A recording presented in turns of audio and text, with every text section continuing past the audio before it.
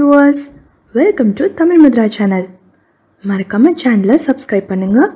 வீடியோவை லைக் பண்ணுங்க ஷேர் பண்ணுங்க கமெண்ட் பண்ணுங்க. ஷாவனியை படாத படுபட்டு காப்பாற்றுறேன் பண்ணி பொழைச்சிட்டான். இந்த தகப்பனோட வேதனை பொறுக்காம கடவுள் அவளுக்கு ஆயுள கொடுத்துட்டார். அப்புறம் குழந்தைய தூக்கிட்டு அம்மாவை பார்க்க கிளம்புனேன். என்னோட நல்ல நேரம். வீட்டுக்கு போனப்போ அம்மா மட்டும்தான் இருந்தாங்க. சத்யாக்கா வேலைக்கு போயிருந்தாங்க. சாரிக்கா காலேஜுக்கும் சாந்தா கோர்ஸுக்கும் போயிருந்தாங்க. அம்மா கிட்ட எல்லாமே சொன்னேன். சாயந்தரம் வீட்டுக்கு வந்த சாரிகா கிட்ட சாரிகா உன் அண்ணி இந்த பாப்பா பிறந்தப்போ இறந்து போயிட்டாங்க. போய் எல்லாரும் தலைமுழுகுங்கன்னு அம்மா சொன்னப்போ மறுத்து சொல்ல முடியல. நடத்த கெட்டவளோட பொண்ணா ஸ்ராவணி வளர்றதை விட அம்மா இல்லாத பொண்ணா வளரட்டும். மற்றவங்க இவளை இலக்காரமாக பார்க்கறத விட இரக்கமாக பார்க்கட்டும் அப்படிங்கிறது அம்மாவோட வாதம். எனக்கும் தப்பாக தெரியல. அப்புறம் அம்மா வணியை பார்த்துக்கிட்டாங்க. எனக்கு பணம் சம்பாதிச்சே ஆக வேண்டிய நிலைமை. ஊருக்கு வந்து மூணு மாதம் கூட நிம்மதியை சாந்தா நீடிக்க விடலை என்று தொடர்ந்த அரவிந்தை தொடர விடாமல் தொடர்ந்து இருமல் வந்தது. நீடித்த அந்த இருமலை கண்டு திணறி போனால் சித்தாரா. இருமலுடன் வேக வேகமாக பழைய பெட்டிகளை குடைந்து அந்த மருந்தினை எடுத்தவன் வாயில் வைத்து உறிஞ்சினான். சற்று நேரத்தில் இருமல் மட்டுப்பட்டது. அரவிந்த் உனக்கு வீசிங் வருமா? எப்போதும் இல்லை சித்தாரா டிவோர்ஸ்க்கு அப்புறம் தான் வருது. ரொம்ப மன அழுத்தமாகும் போது வரும். நம்ம கல்யாணத்துக்கு அப்புறம் ஒரு தடவை கூட வந்ததில்லை. இன்னைக்கு போதும் அரவிந்த் நீ பேசினது. போய் தூங்கு.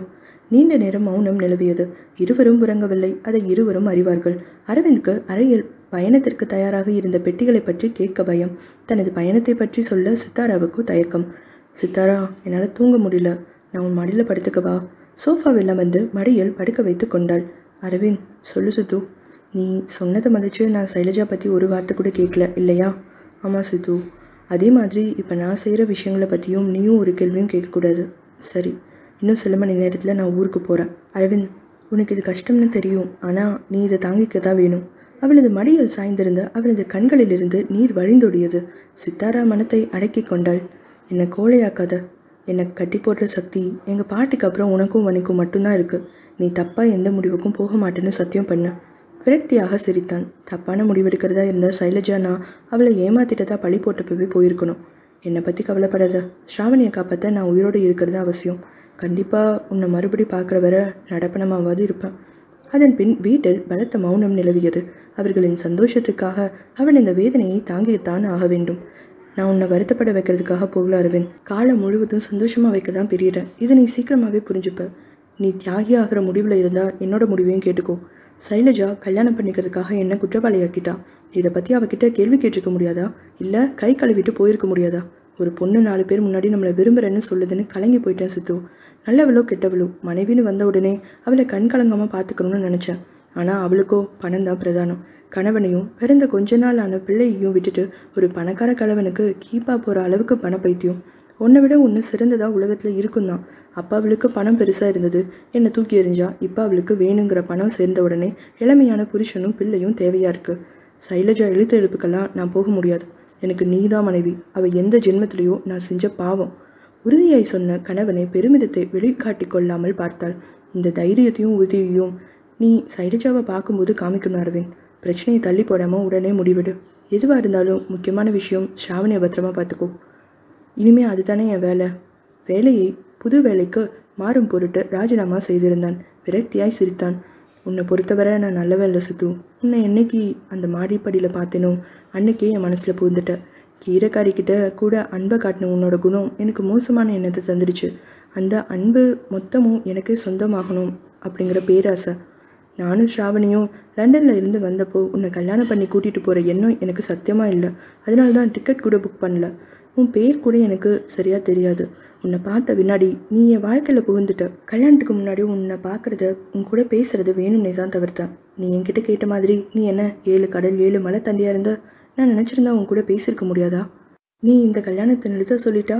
அதுக்கு பயந்தே தாலி கட்டுற வர உன் கூட பேசுகிறத தள்ளி போட்டேன். ஒரு தெய்வதையை ஏமாத்த நினச்ச தப்புக்கு இந்த தண்டனை தேவைதான். மைக்கொண்ட கண்களை அழுத்தமாக மூடினால் சித்தாரா அரவிந்தின் மனம் அவளுக்கே முழுவதும் சொந்தம். யாராலும் அதனை அவளிடமிருந்து பறிக்க முடியாது. மறுநாள் காலை விமான நிலையத்திலிருந்து திரும்பி வந்து கொண்டிருந்த சந்திரிகாவின் மேல் மோதியது அந்த உருவம். ஓ சந்திரிகா தானே நீங்கள் என்ன ஏர்போர்ட்டுக்கு? தெரிஞ்சவங்க யாராவது வராங்களா? சின்ன கிளிப்பிள்ளை போல் மிளற்றிய சைலஜாவை கோபத்துடன் பார்த்தாள் சந்திரிகா. சித்தாரா ஊருக்கு போயிட்டா. இப்போ உனக்கு திருப்தியா? நல்லா இருந்த குடும்பத்தில் குழப்பத்தை உண்டு பண்ணி பிரிச்சுட்டியே. சித்தாரா ஊருக்கு போயிட்டாளா? அவள் தோழில நீ? அதுதான் உனக்கு கோவமா? இங்கே பாரு சந்திரிகா. அரவிந்த் கவனிச்சுக்க மனைவி நான் இருக்கிறப்போ சித்தாரா மாதிரி துணைவுக்கு இங்கே என்ன வேலை? அந்த மனைவி யாருன்னு தான் எனக்கு கேள்வி. சித்தாரா தான் அரவிந்தோட மனைவி. அவள் வர்றதுக்கு முன்னாடி தாயுமானவராக இருந்து பிள்ளைய வளர்த்தார் அரவிந்த். இப்போ வந்து உரிமை கொண்டாடுற நீ இத்தனை நாள் எங்கம்மா போன? கண்டவங்க கேட்குற கேள்விக்கு நான் பதில் சொல்லணும்னு அவசியம் இல்லை. என்ன தாயுமானவர் அப்படி இப்படின்னு என் வீட்டுக்காரரை பற்றி என்கிட்டயே பில்டப் தர?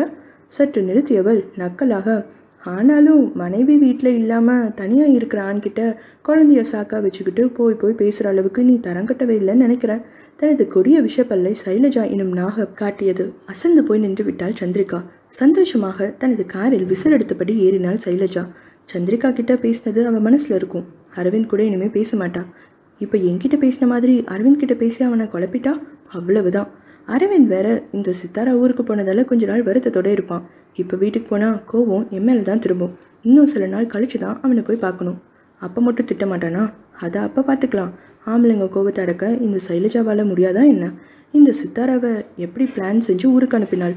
அந்த கஞ்ச பிஸ்னாரி வேற நிறைய இடத்துக்கு ஃபோன் போட்டு அடிமாட்டு விலைக்கு டிக்கெட் கேட்குறான். ஒரு டிராவல் ஏஜென்ட்டை சரி கட்டி சித்தாரா தர இரநூத்தி சொச்சம் பணத்தை வாங்கிட்டு டிக்கெட்டா மிச்ச பணத்தை நான் தரேன்னு சொல்லி டிக்கெட் அவதலையில் கட்டி ஊருக்கு அனுப்பியாச்சு. ஊருக்கு போகிறாளான்னு காலையிலேருந்து தொடர்ந்து போய் கண்டுபிடிச்சாச்சு. நினச்சதை சாதிச்சாச்சு. சாதிக்க பிறந்தவள் சைலஜா. இந்த நேரத்தில் சைலஜாவின் குடும்பம் பற்றி சொல்ல வேண்டுமென்றால் ஒரு முறை தனது அம்மாவிடம் கேட்டாள். என் அப்பா யாருமா? அடிக்கடி கருக்கருன்னு ஒரு ஆள் வீட்டுக்கு வருவானே அவனா? முகம் சொலுத்தபடி கேட்டாள். தெரியலடி. நீ பிறக்க முன்ன ஒரு சேட்டு வீட்டில் வேலை பார்த்தேன். அந்த சேட்டு தான் உன் அப்பாவாக இருக்கும்னு நினைக்கிறேன். அந்த ஆள் வீட்டு பொண்ணுங்க மாதிரியே உனக்கும் ஜாடை இருக்குது தப்பு பண்ணிட்டியே.